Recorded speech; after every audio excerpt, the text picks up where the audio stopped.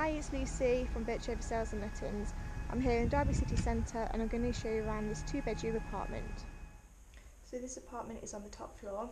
As you come in, there is a storage cupboard just on your right hand side and an airing cupboard.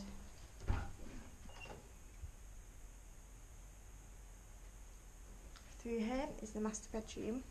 This overlooks the back of the property where you have one car parking space also includes fitted wardrobes. Master bedroom is the second bedroom, again overlooks the back of the property. Another good sized double.